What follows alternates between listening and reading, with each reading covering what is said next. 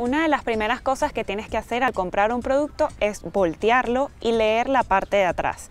La primera cosa, la lista de ingredientes, que sepas que va de orden de mayor a menor, es decir, el ingrediente que más se encuentra en el producto es el primero que sale.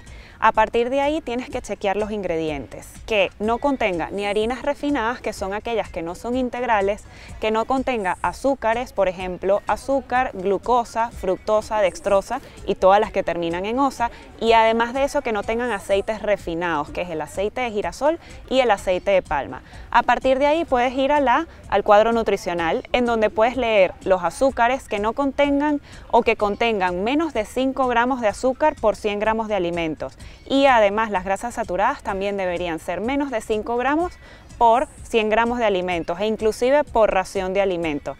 Así te cercioras de que realmente estás comprando un producto de calidad.